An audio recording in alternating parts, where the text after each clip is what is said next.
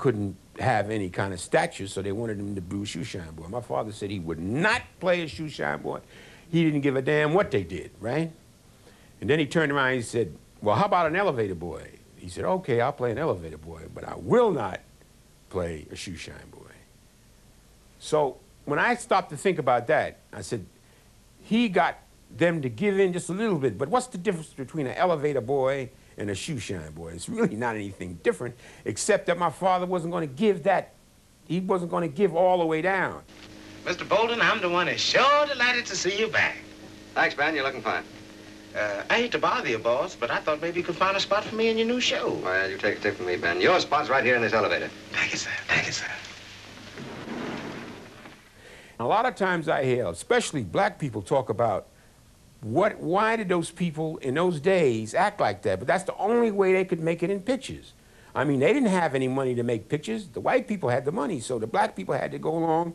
And the dues that they had to pay, Mantan Moreland and all these old stars, they, they call them handkerchief heads and whatnot, but that's the only way they could get in. And once they got in, they tried to make it a little better.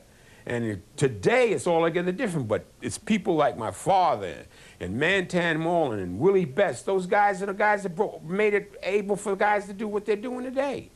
So you got to pay your dues, you know what I mean? Well, he just had a job. He was glad to have it because uh, to be a token.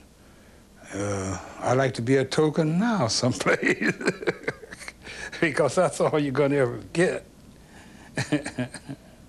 There were uh, always places where black guys just couldn't work because they weren't accepted there.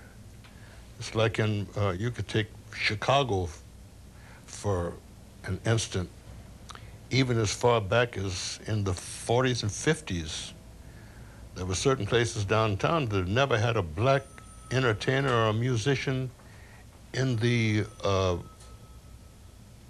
the inside of the doors. It just were not hired.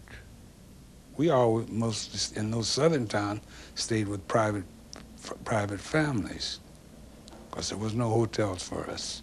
And maybe they have one little, sometimes they'd have a little hotel, black hotel, own hotel, but most of us stayed in private families. Now with Cab Calloway, we had a train. We stayed on the Pullman. We used to go do all our one-nighters through the South on Pullman, with the Pullman. They'd pull the train into the town and sidetrack our car. We had a baggage car and a Pullman car, and we'd play the dance, come back and get on the train, and they'd pull us off the next day to the next town. My father played what they call a Southern Circuit. When you went down to the South, they had a line down the middle, and the whites would be on one side, and the blacks would be on the other side. And they'd be listening to the same music but they, they couldn't intermingle. I mean, that was one bad thing about all of that. And they would still intermingle, though, but they do it kind of slick, like, you know, wouldn't be out in public, you wouldn't do that. But um, my father didn't play the Southern Circuit too often. He did, that's for that reason, that's the reason he didn't, because he didn't like it. The next number is What Did I Do to Be So Black and Blue?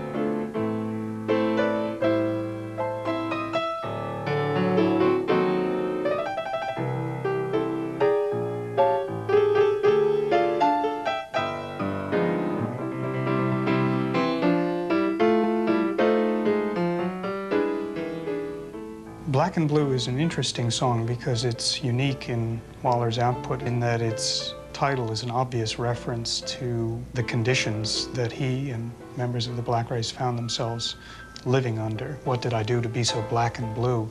Uh, it's an enormously poignant refrain. He was not a Langston Hughes. He was not a Paul Robeson. I, I, we have, to my mind, no indications that he had a deep, profound commitment to uh, exposing injustice. Uh, I think rather he preferred to, to satirize in a very delicate way, perhaps not always uh, perceptible to white people, uh, some of the foibles of their civilization, and preferred to laugh off the indignities that he had to suffer as a way of dealing with them rather than fighting them uh, in, in an open kind of way. That may have been a matter of personality.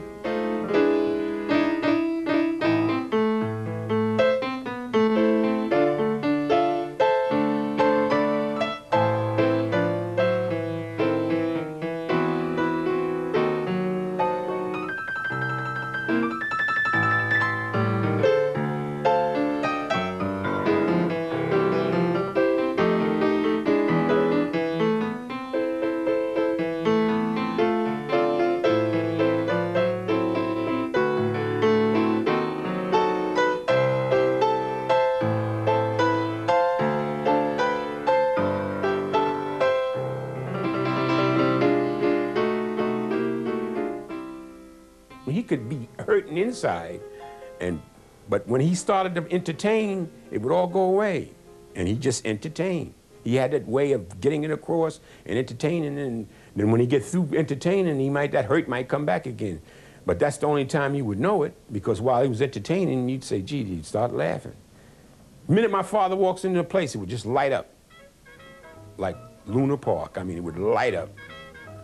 People would light up. Everybody, hey, Fats, listen, do so and so.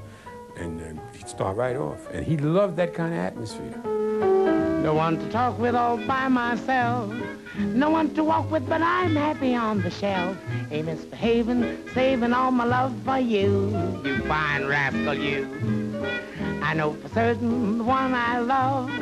I'm through with flirting, it's you that I'm thinking of. Ain't misbehaving, saving all my love for you, for you, just you. Like Jack Horner in a corner, don't go nowhere. What do I care? Your kisses, my dear, are worthwhile waiting for. Believe me, dear. He was on a train and just kept going. That's all till he died. And he'd be so tired, sometimes he'd lay in the bed for three days. Now, he'd been up 10 days. Maybe he'd get a cat nap here, a cat nap there, drinking, eating sparsely. He lived in the fast lane. He, he, when he went to California, on his way back, he died on a train. He dissipated a lot, drank a lot, rest broken. Takes a toll after a while. So he had so much talent based in him that I guess, you know, you notice the people with a whole lot of talent, they don't usually live very long. They, they're here, they do their thing real quick and get out of here. Sweet essence of pink buttermilk. Look what's going on here. Come out of there, you rascal, you.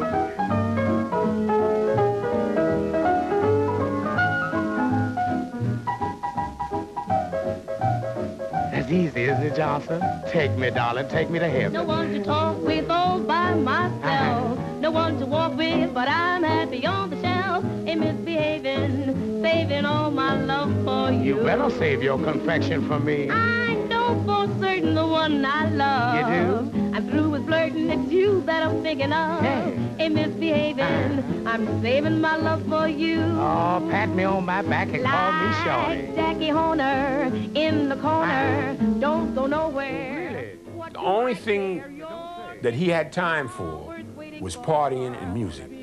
And basically, it all came from the music because my father would only stop partying for the music, which meant that the music came first. Saving all my love for you. Well, come here so I can tell you something, baby.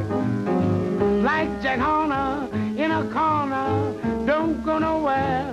I don't care. Your kiss is always waiting for. Believe me. Ah, but I don't stay out late. I don't care That's so. fine. I'm home about eight. Me and my radio. Well, all right. Ain't misbehaving. Saving my love for you. I'm saving my love, baby. Saving all my love for you. Yeah. And now, here it comes. That one and only composition, Honeysuckle Rose, by yours truly, Little Fatsy Watsy Walla. And here it is. Mhm. take it away, take it away, boys. We in the groove for it, Honeysuckle Rose.